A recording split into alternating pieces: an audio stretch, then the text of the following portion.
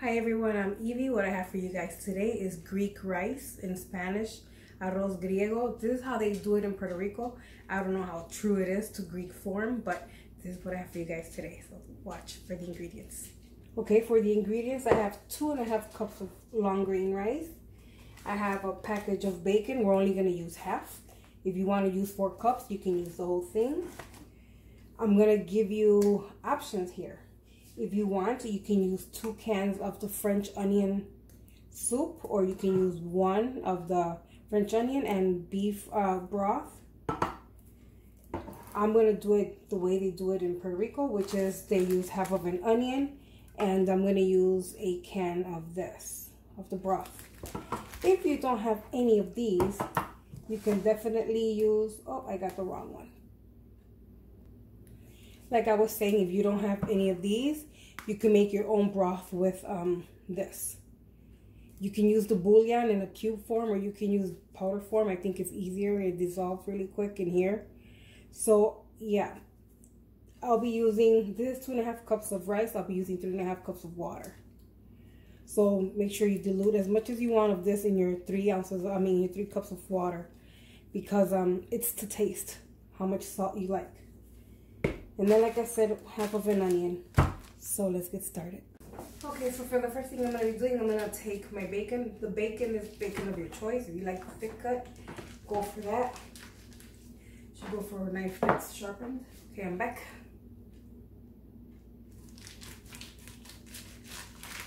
So, everybody doing?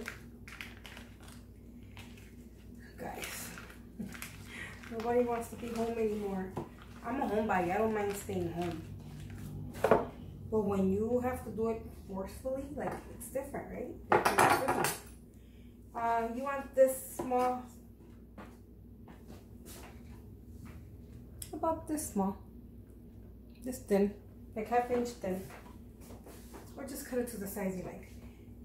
Like I said, if you're a big bacon fiend, then you can use the whole packet. It's up to you. We're not using salt because this already has sodium, the, the broth. But if you want, you have a different, want more salt, add more bouillon or, or just salt, okay? So I'm gonna chop, I already did my bacon, and I'm gonna do half of a medium onion.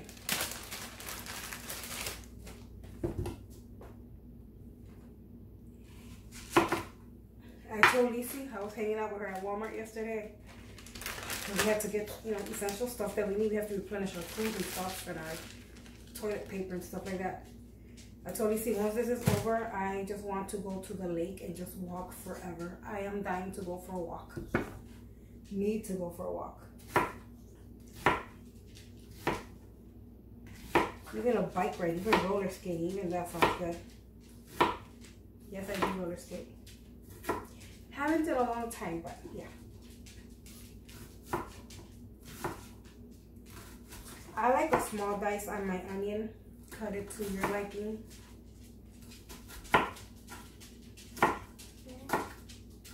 Else is with me on that walk? Gotta get out of here. This little top part of the onion. Okay, so what we're gonna do now, we're going straight to our stove. We're to saute this bacon first so that it can render fat. And it's to be in a one pot deal. So you don't have to do the bacon on somewhere else and then use another pot for something else. So let's go to our stove. Okay, so I have my stove on high. Just turn that on. And I'm just to toss in my bacon. Love that sizzle. Remember, it's going to render out a lot of fat. If it renders out too much fat, we'll take some of the fat out. Because usually you add oil to your rice. So I do really for Spanish. But if, render, if it renders out too much, we'll just take some of it out. Okay. My bacon is still not done. You want your bacon to be crispy, okay? So we're going to add the water and stuff. We're going to fog back up. Don't worry about your pot getting all this stuff at the bottom. That's perfect. Once the water hits that, that's going to uh, not bleed anymore. And it'll give your food even more flavor. So once you're baking, it's almost crispy. And I'm not throwing out any of the fat. It hasn't rendered off too much fat. So when this is crispy, then I'll add the onion. I'm going to saute the onions for about two minutes till they get translucent. Then I'll add my rice. By the way, I already washed my rice. Okay, so my bacon is super crispy now. I'm adding in all the onions.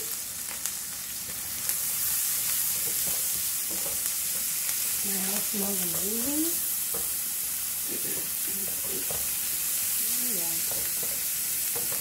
So I decided to use the French onion one and the broth.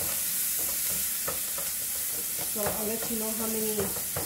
And by the way, this is this is a 10 and a half ounce can, and this one is also 10 and a half.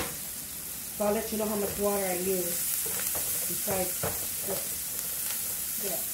Mmm, my house smells so good. The onions with the pan, it smells delicious. We're gonna let the onions cook up for another minute. Okay, so our onions are translucent, they're nice and soft. Bacon's still crispy. We're gonna add the one can of the French onion soup. And we're also gonna add our beef broth.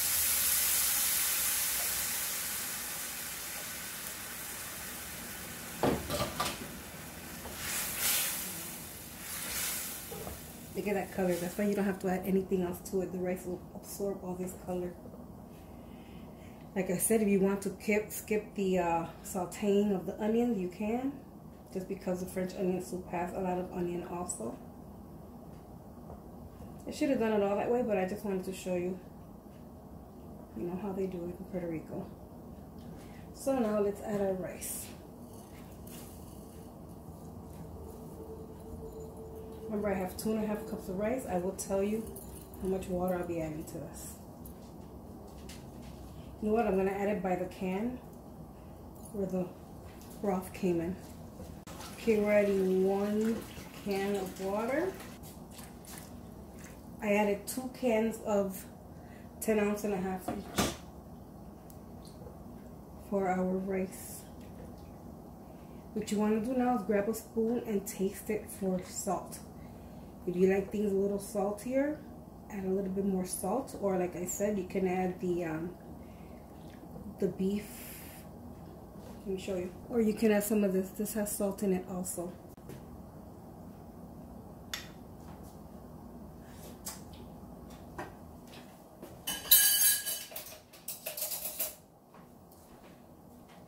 Yeah, for my taste, definitely needs it. I'm going to add about a tablespoon. I cannot stand food that's not flavorful or that's missing salt. I just need it to be on point. And I don't like adding raw salt to it after it's been cooked because it's not the same. So, see, it's very smooth in the bottom. The all the liquid absorbed, all the stuff that was sticking to your bottom, to the bottom of your pan. I'm gonna give it a try.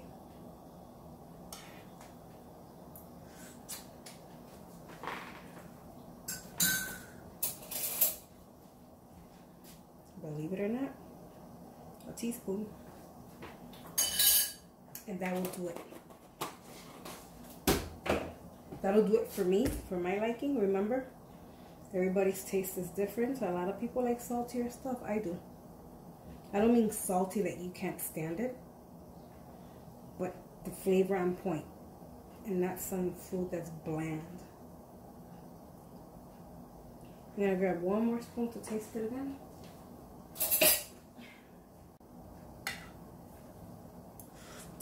Yep. That is perfect for me. Okay. So when this comes to a hard boil, I'm going to lower the heat to medium. And then we're going to wait till it dries up a little bit before we put a lid on it. Okay, my rice has already started to boil. I'm just going to lower the heat to medium because I have it on high. And I'm just going to let that cook away till it starts to dry. After it starts to dry, I'll show you what it looks like. I'll just put a lid on it and put it on the lowest setting on my stove for 25 minutes. For these pots that have holes, you know what I do? I take saran wrap, I take a little piece and I put it on here. That way when I cook my rice, the steam stays in there and cooks the rice.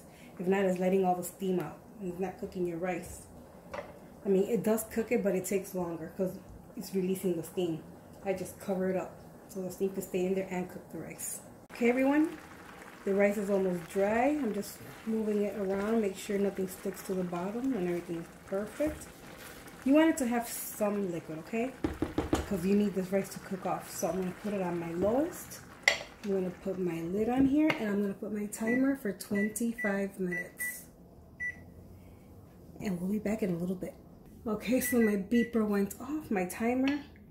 Let's check this out. Put water there, won't matter.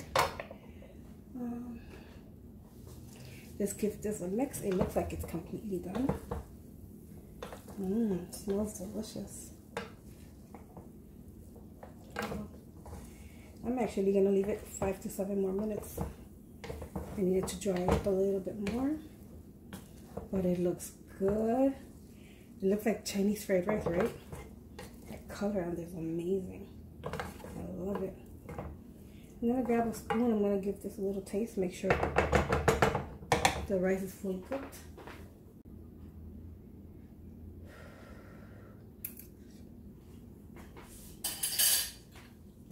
Oh, it is, and it tastes so good. I'm just gonna give it five more minutes, and then we'll be at the plating. By the way, I'll be making, well, I already made this, but I'll be making um, pinto stewed beans with this rice and a side salad with lettuce, tomato, a little bit of vinegar, olive oil, and salt. So here was my timer. And we'll see you at the plating. Okay guys, this is what it looks like. You can see bacon and onions all through the rice. I know it looks plain, but picture the stewed pinto beans and the salad on the side. Delicious. It's just that it's 12 o'clock here, noon. We don't eat till about 5 or 6, so I don't want to cook everything so early. So here it is. Nice fluffy rice. Let's taste it.